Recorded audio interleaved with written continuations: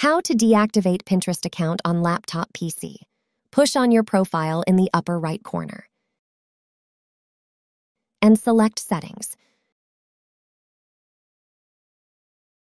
Come over to Account Management. Scroll down and push on Deactivate Account.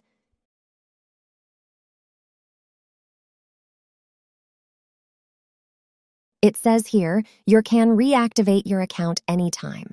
If you want to use Pinterest again, just log in. Press Continue. Pinterest wants to know why you are leaving. Press Deactivate Account.